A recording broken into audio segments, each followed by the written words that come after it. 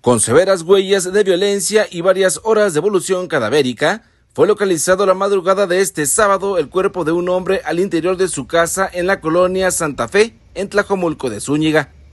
De acuerdo a información extraoficial, habrían sido sus propios familiares quienes al ingresar a la finca ubicada sobre la calle Yuscapán al cruce con Colón, lo encontraron con varios golpes e inconsciente en el lugar. Tras alarmarse por el hallazgo, se hicieron varios llamados pidiendo ayuda a las autoridades y fueron policías municipales quienes acudieron lo mismo que paramédicos para únicamente confirmar que el hombre ya había muerto. En la cuadra vecinos no supieron referir nada sobre la agresión, solo compartieron que hacía varias horas que no lo veían salir pues el hombre yacía al interior de su casa y de los asesinos nadie supo dar característica alguna. En el lugar hubo una intensa movilización de elementos municipales, lo mismo que de la Guardia Nacional, esto para resguardar la escena criminal. Personal de la Fiscalía del Estado acudió para recabar información que pueda ayudar a esclarecer este crimen.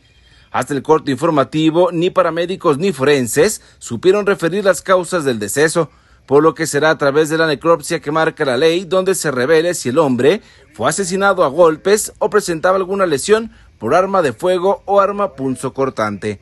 Reportó para Guardia Nocturna Abraham Maciel. Guardia Nocturna.